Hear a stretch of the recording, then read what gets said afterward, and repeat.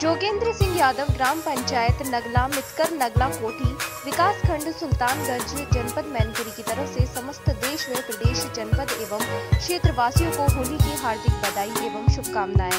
मैं योगेश सिंह यादव, प्रधान नगला मिटकर ब्लॉक सुल्तानगंज जनपद मैनपुरी।